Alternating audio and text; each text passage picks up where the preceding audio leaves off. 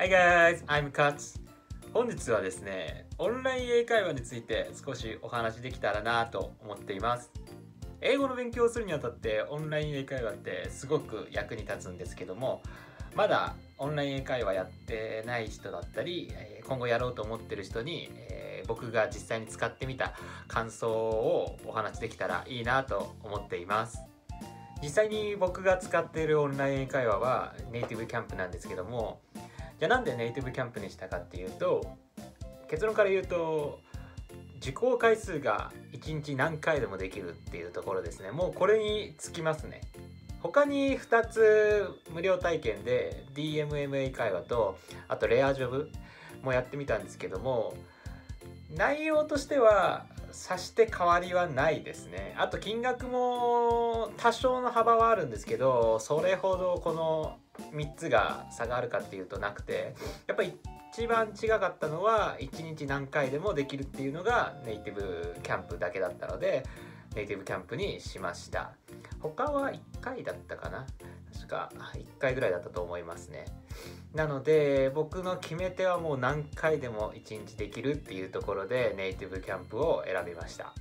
もし皆さんがこれからオンライン英会話始めようかなって思ってるのであれば必ず無料体験をやってほしいですね。僕もレアジョブと DMM 英会話とネイティブキャンプ無料体験したんですけどまあお金かからずにあの実際の体験できるので絶対にやった方がいいかなと思いますね。で実際にやってみてあの感じとかもわかると思うので必ずやった方がいいかなと思いますね。でオンライン英会話っていっぱいあるのでまあ何個も何個もやるのも大変かなっていう人もいると思うので僕はその大手よく名前が聞く DMM や英会話とレアジョブとネイティブキャンプにしたっていう感じですね。で他もまだあって無料体験はやろうと思えばできたんですけどまあもうネイティブキャンプがすごい良かったのでもうネイティブキャンプでいいかなと思って契約をしたっていう感じですね。ネイティブキャンプを実際に使ってみての感想なんですけど僕としてはすごく満足してますね。というのも家で簡単に気軽にできますし予約もすごく簡単なので英語の勉強のルーティン化がしやすいんですね。でネイティブキャンプだと受講回数も何回もできるので僕は1日2回あの受講するようにしてて1回が25分ぐらいなので、まあ、1日50分ぐらいあの外国人の人と話すようにしてます。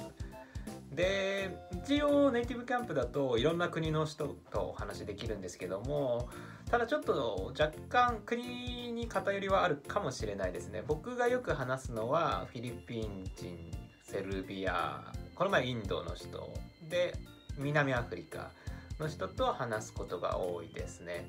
一応課金とかするとネイティブの人と話すこともできるんですけど僕は特にネイティブの人と話したいっていう強い気持ちはないのでとにかく外国人の人と一緒に英語を使ってコミュニケートしたいっていうところが強いので、まあ、その辺は気にせず課金はせずあの通常の月額の金額であの利用してるっていうところですね。で最近知ったんですけどネイティブキャンプのレッスンが終わった後にあの自分の話した内容っていうのが全部録画録音されてるんですよ。なので僕は次の日にあのイヤホンで昨日話した内容を復習がてらあの聞いてますね。でチャットボックスであのやり取りもできるので先生が打ったチャットの内容とか文章とかがあの残ってるのでそれを見てあこんな話したなみたいなのであの昨日の記憶を呼び覚ますじゃないですけどそういった形で復習もできるのですごくネイティブキャンプは勉強になるなと思ってます。オンライン英会話は英語の勉強にすごく役に立つと思います英語ってやっぱり使わないと身につかないものだと思うので勉強して覚えた内容を実際に外国人の人に話してみて何回も話して自分の体に染み込ませていくっていう作業が大事だと思います。あとは実際に外国人の人と直接話すってなるとやっぱり緊張したり言葉が出てこなかったりして気まずい感じになっちゃったりっていうこともあると思うのでそのの1個前の段階でオンライン英会話で会話することに慣れてその後に外国人の人とじゃあ直接話してみようかっていう風な流れになるとすごくスムーズに